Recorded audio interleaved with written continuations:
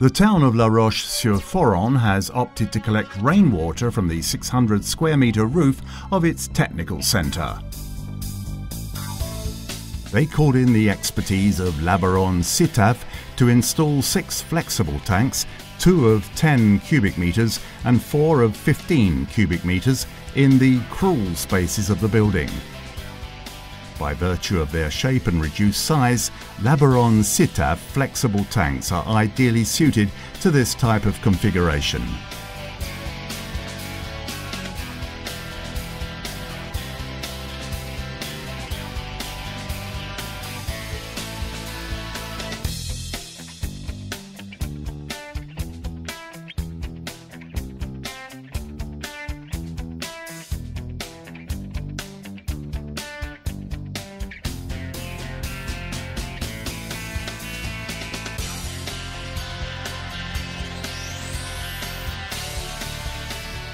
After being unfolded and positioned at the chosen locations, the tanks were connected to supply and discharge pipes.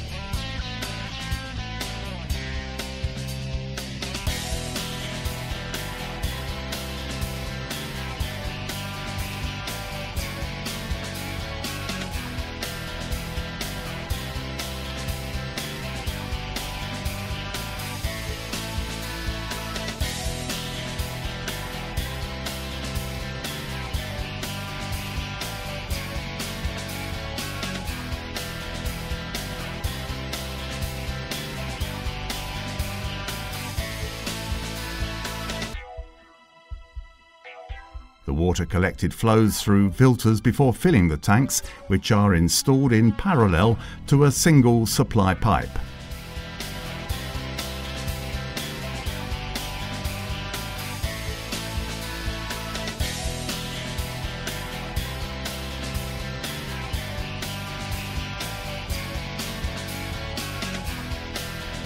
The tanks are discharged evenly by a pump which raises the water into the technical building.